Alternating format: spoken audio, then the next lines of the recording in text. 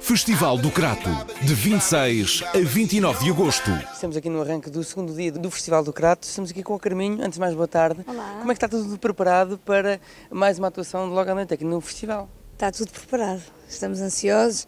Festival com esta com esta tradição, com, com estes cartazes sucessivamente, ano após ano, sempre a surpreenderem e a trazerem gente de todo o lado, de todo o mundo e tão jovem. e É, é muito bom estar aqui.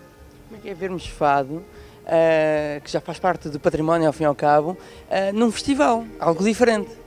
Começa a ser cada vez menos eh, estranho, começa a ser cada vez mais importante o fato de estar nestes circuitos, porque o fado é dos portugueses e, e, e os festivais têm espaço para o fado, até porque os, os projetos são cada vez mais hum, abrangentes. No meu caso, este disco tem muito fado, mas também passa muito pela música tradicional portuguesa, que, eh, tem um bocadinho de, de percussão, tem acordeon, tem teclas, tem o meu trio de fado, e são sonoridades que acabam por, eh, por nos envolver também e fazer parte deste, destes, destes ambientes. É bom, é sempre bom.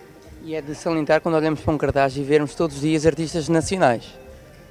Claro, então, mas isso nem devia ser de salientar, isso tem que ser uma regra, sempre. Sim, mas nem todos faz parte. Pois não, mas é um orgulho, é um orgulho. E o Festival do Crato tem-nos habituado sempre a, a cartazes incríveis. Eu já fui uh, público deste festival e fico super orgulhosa por estar agora no palco e vou dar o meu melhor, como Como sempre. é que foi o antes, à frente do palco e agora em cima do palco?